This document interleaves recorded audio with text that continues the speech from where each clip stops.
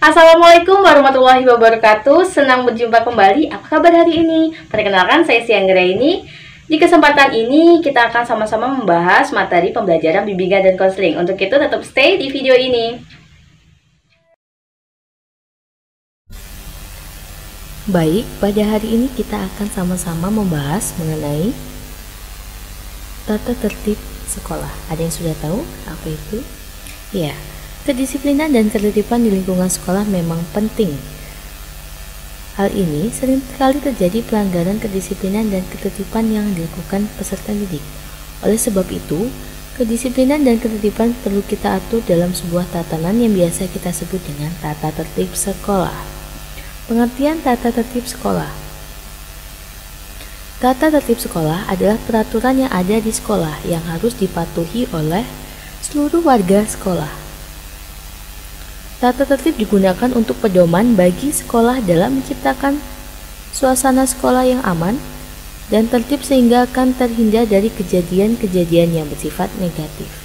Jadi, gunanya tata tertib sekolah untuk mengendalikan dan mengawasi semua warga sekolah. Tujuan tata tertib sekolah Tujuan adanya tata tertib sekolah untuk mencapai kedamaian, yaitu suatu keserasian antara ketertiban dan ketenteraman. Tata tertib tersebut dapat berfungsi dengan baik atau secara efektif apabila seluruh warga sekolah, terutama peserta didik, dapat mematuhi peraturan yang ada di sekolah. Kepatuhan terhadap peraturan tata tertib sekolah harus dilaksanakan dengan penuh kesadaran, tanggung jawab, tanpa merasa terpaksa atau sekedar menghindari karena adanya guru yang mengawasi.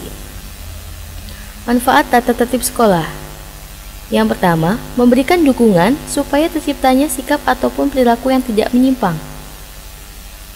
Dua, membantu peserta didik untuk menyesuaikan diri dan memahami diri dengan tuntutan lingkungan. Jadi, manfaat adanya tata tertib sekolah membuat pribadi peserta didik menjadi disiplin dan memahami dirinya dan dapat mengembangkan potensi yang dimilikinya sehingga terhindar dari perilaku yang menyimpang. Contoh dari tata tertib sekolah. Masuk kelas. Yang pertama, peserta didik peserta didik diharuskan datang tepat waktu. Jadi, disiplin dalam waktu sangat diperlukan. Yang kedua, berperilaku santun terhadap bapak atau ibu, guru, teman serta staf tata usaha jadi perilaku sopan satunya harus dijaga. 3. Bagi peserta didik yang tidak masuk harus membuat surat izin tertulis. Dan peserta didik dilarang memasukkan tanda tangan atau membuat surat izin palsu. Yang keempat, berpakaian rapi sesuai dengan ketentuan sekolah. Maksudnya, di sini peserta didik diwajibkan menggunakan seragam dan atribut yang sudah ditentukan di masing-masing sekolah. Yang selanjutnya melestarikan kebersihan, keindahan, perindangan, keamanan, kekeluargaan, dan kesehatan. Diharapkan peserta didik dapat membangun tempat yang nyaman di kelas maupun di sekolahnya. Selanjutnya, peserta didik dilarang berambut gondrong untuk yang laki-laki. Dan peserta didik dilarang bersolek dan memakai perhiasan berlebihan untuk yang perempuan. Peserta didik harus mentaati nasihat bapak atau ibu guru serta staf tata usaha. Menjaga semua fasilitas sekolah dan yang terakhir, mengikuti semua kegiatan pembelajaran yang dilaksanakan oleh sekolah. Contoh tata tertib di dalam kelas. Yang pertama, doa dipimpin ketua kelas. Doa diperlukan sebagai dasar atau pembuka dalam kelas sebelum memulainya pelajaran. Yang kedua, memberikan salam pada guru.